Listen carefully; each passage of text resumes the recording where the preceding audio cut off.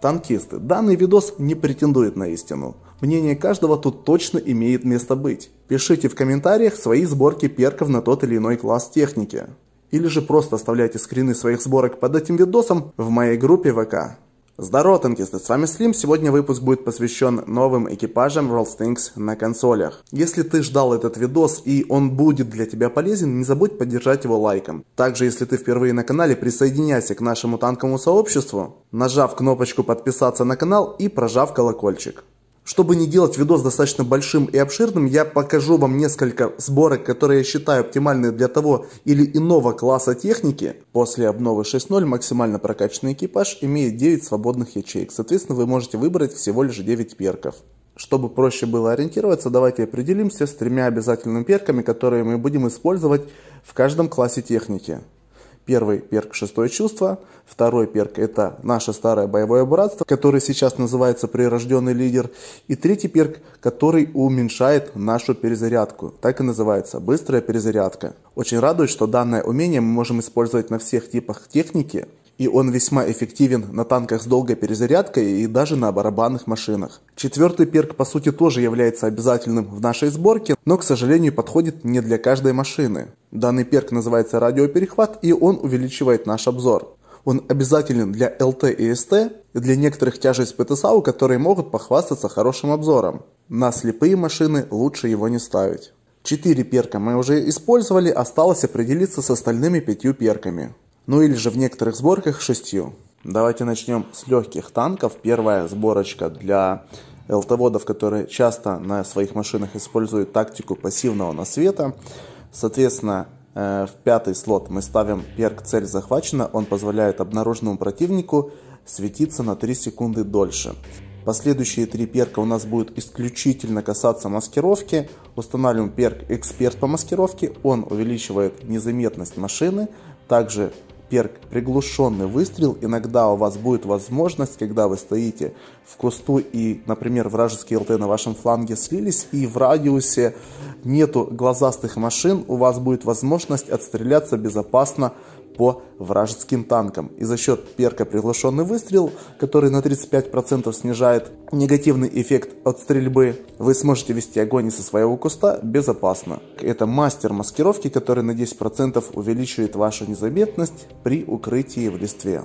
И у нас осталась одна девятая ячейка, в которой я предлагаю установить перк, не сбавляя скорости, который на 10% увеличивает вашу точность на ходу. В каждом бою постоянно вы в кусту светить не сможете, периодически вам придется двигаться, а то и чаще контрить вражеские ЛТ, схватки с которыми при стрельбе на ходу не обойтись. Так что данный перк будет весьма полезен.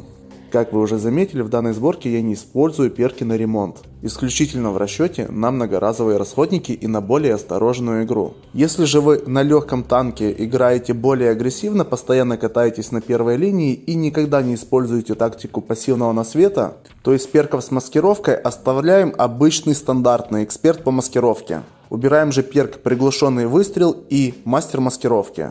Вместо них лучше поставить перк виртуоз и плавный поворот башни что позволит вам гораздо проще закружить врага и быть более эффективным на ходу. Что касаемо средних танков, тут тоже покажу две сборки. Первая подойдет для средних танков, которые являются достаточно картонными, которые не могут позволить себе агрессивно играть, играют на второй, третьей линии, чаще всего отыгрывают танк поддержки. Танки, которые можно отнести Леопард 1, Проджета и многие другие. Первые четыре перка, которые я озвучил в начале видео, не меняем. Пятым ставим искусственный стрелок, он дает нам плюс 10% к точности. Следующим перком ставим уход за орудием, он на 25% уменьшает негативный эффект расстояния в бронепробитии снарядов. Очень эффективно, когда вы стреляете издалека через всю карту. За счет этого перка пробить даже твердого врага у вас будет больше шансов. Поскольку наши танки достаточно картонные и они не любят светиться, в седьмой слот обязательно ставим эксперт по маскировке. Но поскольку это СТ и рано или поздно нам все же придется двигаться и тем более стрелять на ходу, восьмую ячейку ставим перк не сбавляя скорости а в девятый плавный поворот башни. Для агрессивной игры на средних танках, которые могут позволить себе играть ближе к противнику, в сборке Леопарда 1 я рекомендовал бы поменять два перка. Убираем перк уход за орудием и плавный поворот башни. Ведь дистанция нашего боя неплохо сократится и точностью можно немножко пренебречь. В первую свободную ячейку ставим перк полевой ремонт, что позволит нам не давать противнику продлевать сбитую гуслю в ближнем бою. И во вторую свободную ячейку ставим перк «Цель захвачена» благодаря чему при нашей агрессивной игре обнаруженные нами противники будут дольше светиться, что позволит вам при вашей агрессивной игре получать больше ассиста по разведданным за счет того, что у союзников, прикрывающих вас, будет на 3 секунды больше времени для совершения точного выстрела. Теперь э, давайте рассмотрим сборочки для тяжелых танков, две штуки. Первая из них для тяжей универсалов, таких как, например, Суперконь, Е5, ИС-7, ВАЗа-111-5А и тому прочее. Танки, которые более мобильны, могут подключиться и на фланг СТ и, соответственно, играть на первой линии. Первые четыре перка для этих тяжей неизменны. Шестое чувство, прирожденный лидер и быстрая перезарядка. В четвертый перк ставим радиоперехват. В пятый устанавливаем скрытое передвижение, потому что танкам очень часто надо будет поджиматься на первую линию раньше других. И, соответственно, надо минимизировать шансы вашего обнаружения, особенно когда вы едете на фланг СТ.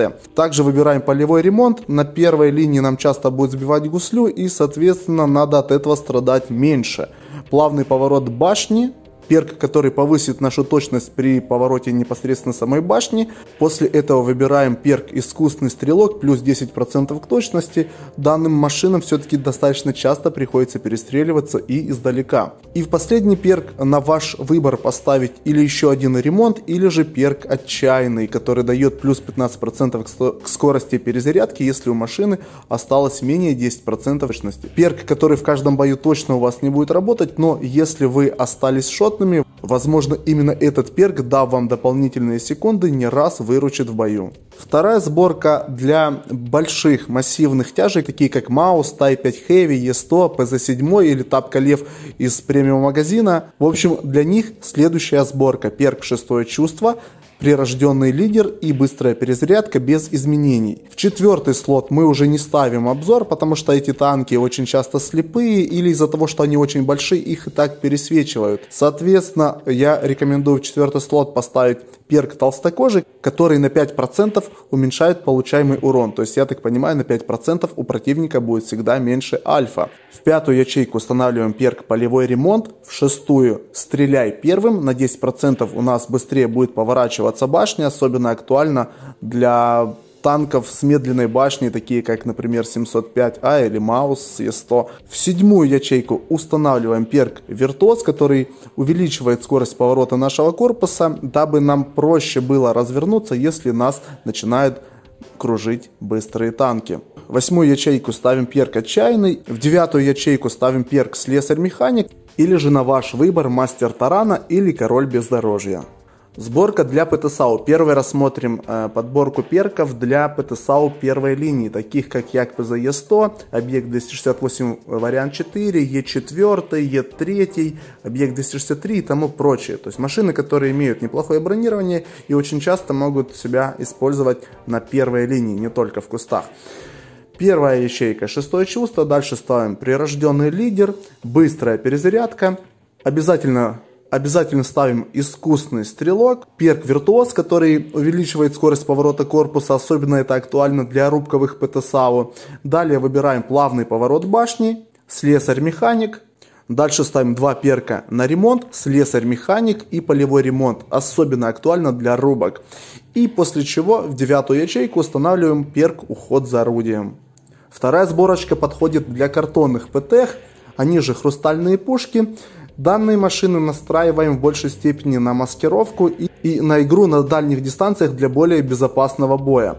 Первые четыре ячейки это наши неизменные перки, шестое чувство, прирожденный лидер, быстрая перезарядка и конечно же радиоперехват.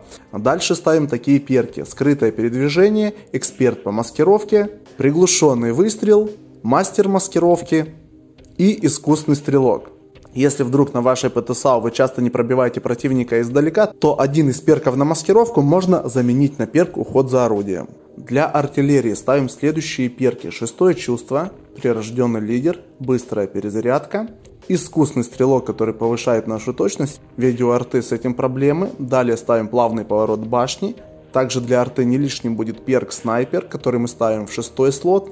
После чего выбираем уход за орудием ведь артиллерия 90% своих выстрелов де делает действительно с дальней дистанции. После чего не лишним будет поставить перк виртуоз. И в последний девятый слот ставим перк маскировку, или же если эта арта достаточно большая, громоздкая и тяжелая, и вас любят таранить враги, то не лишним будет поставить перк мастер тарана. Танкисты, надеюсь данный видос был вам полезен. Удачи всем в рандоме, до новых встреч, пока.